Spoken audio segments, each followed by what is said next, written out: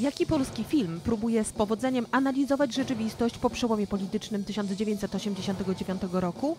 W opinii historyków i krytyków filmowych to psy w reżyserii Władysława pan z nieśmiertelną rolą Bogusława Lindy.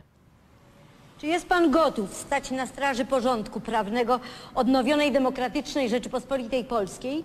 Bezapelacyjnie, do samego końca. Mojego lub jej.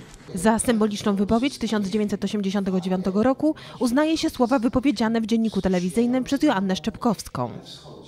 Proszę Państwa, y, 4 czerwca 1989 roku skończył się w Polsce komunizm. Dziś uczniowie włocławskich szkół mieli szansę zobaczyć fragmenty nagrań sprzed 25 lat i wysłuchać wypowiedzi ludzi, którzy tworzyli historię i wpłynęli na świętowane od wczoraj 25 lat wolności. 25. rocznica odzyskania wolności to święto, o którym należy mówić i to mówić głośno.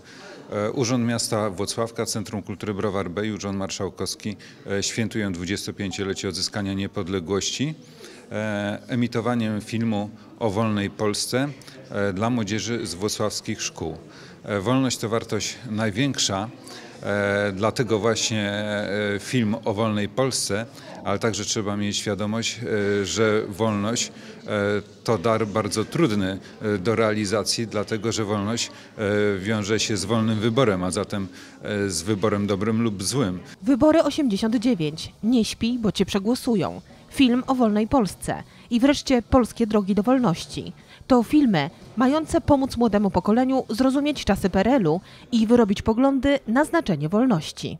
No, za młodzi jesteśmy trochę, żeby pamiętać tamte czasy z 89 roku, ale wolność y, na pewno jest czymś bardzo ważnym, y, czymś, co pozwala nam y, żyć sobie spokojnie, normalnie, bez ingerencji żadnej ze strony jakiejś tam wroga. Y, Na pewno istnieje duża potrzeba tworzenia takich filmów. Pozwalają one tam lepiej sobie wyobrazić, jak to te czasy wyglądały.